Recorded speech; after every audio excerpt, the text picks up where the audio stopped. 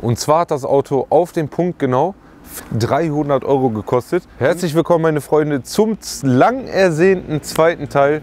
Billigster Porsche Deutschlands 996 Teil 2. Und zwar geht es heute darum, wir haben den Porsche getuned. Aber bevor wir dazu kommen, muss ich leider Gottes einmal ein ernstes Wörtchen mit euch reden. Und zwar müsst ihr bitte Verständnis zeigen. Zum allerersten Mal, ihr kriegt hier wirklich pausenlos kostenlosen Content. Aber dieser kostenlose Content muss auch irgendwie finanziert werden und auch immer realisiert werden. Wie ihr wisst, habe ich noch meinen Autohandel. Da geht auch momentan die Post ab. Da flattert auch eine Reklamation nach dem anderen rein. Video dazu wird folgen. Also da habe ich auch meinen Kopf voll.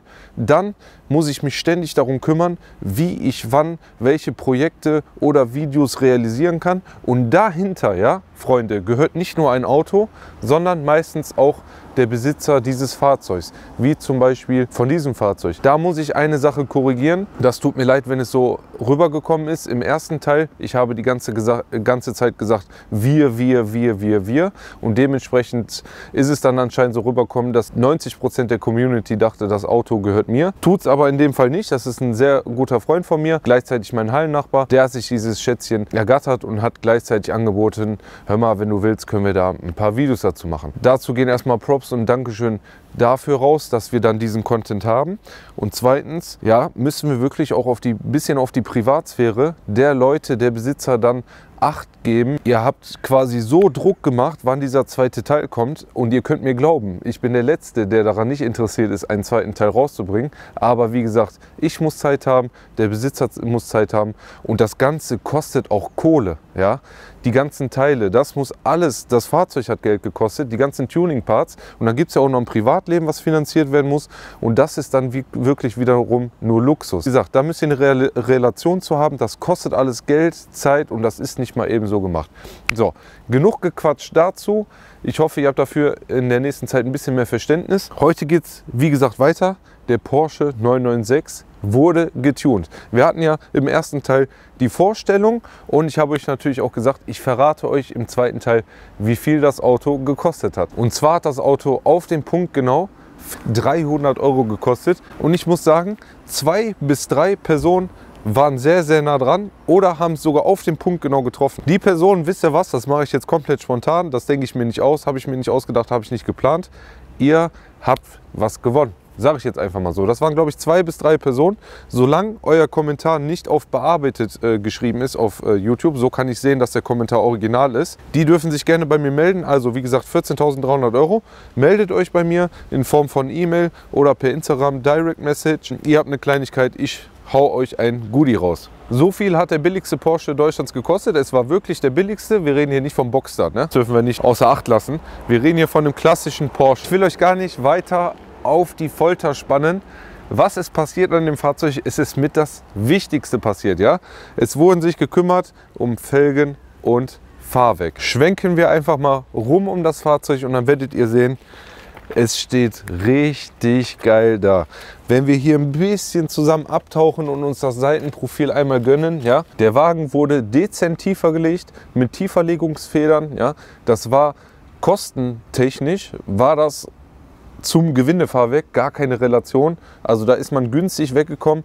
Dementsprechend ist man jetzt natürlich wirklich im dezenten Tieferlegungspunkt. Klar, mit einem Gewindefahrwerk könnte man das Ding komplett runterlegen, aber ich finde, so steht er gut im Kasten. Man muss das ja noch ein bisschen sehen, dass das so ein bisschen den alten Style hat, sag ich mal so. Ne? Wenn das Ding jetzt komplett flach wie eine Flunder liegt, dann wird das auch nicht irgendwie zusammenpassen. So haben wir hier auf jeden Fall so eine gute Fingerbreite hinten. Vorne natürlich ja, minimal mehr, aber das Gesamtkonzept sieht auf jeden Fall gut und gelungen aus. Dazu kommt jetzt natürlich das Prunkstück, finde ich.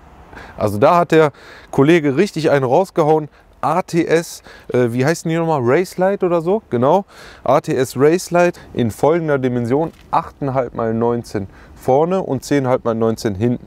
Das heißt, wir haben natürlich dieses schöne Objekt von einem dicken Popo, würde ich mal sagen, diese breiten Felgen hinten und ein bisschen schmaler vorne, damit man dieses schöne Lenkverhalten noch beibehält. Von 17 Zoll auf 19 Zoll gesprungen.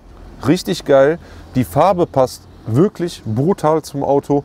Und was ich ja schon mal gesagt habe, ich feiere das wirklich sehr, wenn man auf einem altmodischen Auto, würde ich jetzt mal sagen, neu moderne Felgen drauf knallt, sportliche Felgen. Wir haben hier natürlich auch den Aspekt, dass sie sehr, sehr leicht sind und damit die Fahrdynamik natürlich auch nicht negativ beeinträchtigt wird. Das sieht super aus. Spurplatten brauchen wir hier gar nicht, finde ich. Ich finde auch von der Einpresstiefe her passt das hier wunderbar. Wenn wir das, äh, uns das einmal hier von dieser Flucht anschauen, von vorne, dann können das die Zuschauer richtig gut nachverfolgen, dass die Felgen richtig gut stehen. Das gleiche können wir uns auch einmal kurz von hinten anschauen. Der Heckspoiler bleibt natürlich immer ausgefahren jetzt mittlerweile, aber vielleicht wird sich hier drum noch gekümmert. Das wäre natürlich, das wäre High-End, wenn hier so eine Theke ungefähr drauf kommt, ne, wo du dann bei Mc's hier dein Big Mac Menü oder sowas verzehren könntest. Das wäre komplett geil. Wenn wir jetzt einmal komplett die Linie entlang gehen, geradeaus aus Fahrzeug, dann können wir vielleicht nachvollziehen, wie breit der Popo ist. Da müssen wir hier einmal runtergehen.